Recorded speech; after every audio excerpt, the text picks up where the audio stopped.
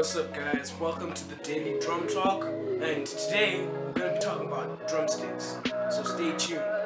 Tell me pretty lies, look me in the face, tell me that you love me, even if it's. Yeah, so as a drummer, you know that the most important tool is your drumsticks. Well, today we're going to be talking about five things you need to know before buying drumsticks or deciding what kind of drumsticks you like.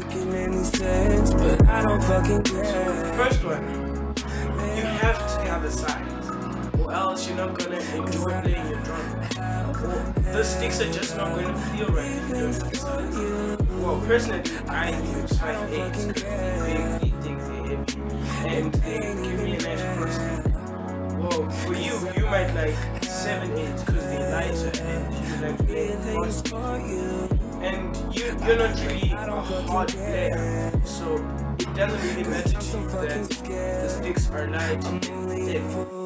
Maybe you prefer two beats because of some odd reason, but definitely a size. Right? Good for Second thing you need to know is if you're gonna buy a bulk pack, you gotta make sure it's a quality bulk. Like here in South Africa, we have a shop called Cash Crusaders where they sell these Sanchez drumsticks. They are absolutely horrible. Horrible to the T. They, they, they don't even have a finish on them. They are dry wood sticks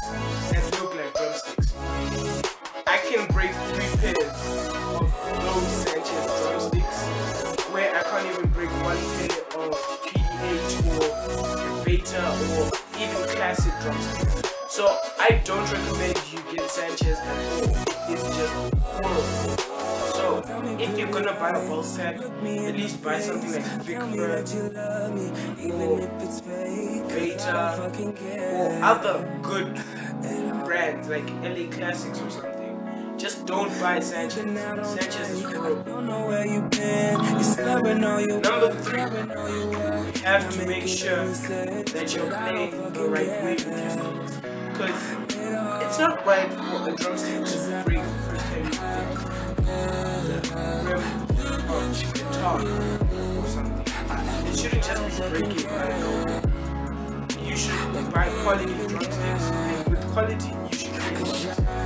And you shouldn't just buy any drumstick.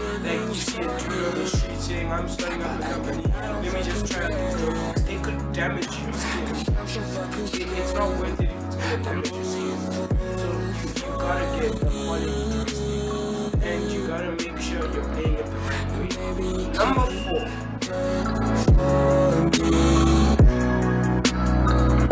Number four that your sticks are the same weight. It, could affect your playing tremendously. If you're a clumsy drummer and you happen to drop your drumsticks often, you're gonna feel the difference if you just take another stick from the head. It, it, it, it, can affect your playing and it could end up messing with your hands. Like, if you have a weak left hand, it, it, it's gonna mess up your right hand if you swap the sticks. So, uh, another way to as you get your pet, you like make a fancy at the or. And, or, you could just label your stick right and left so that you never mistake them. If you like these kind of videos, or if you want want to make a suggestion on what I should post next, just hit me up in the comments section and don't forget to like and subscribe. I'm going to be posting a video on this YouTube channel every day, so please stay tuned. Thanks.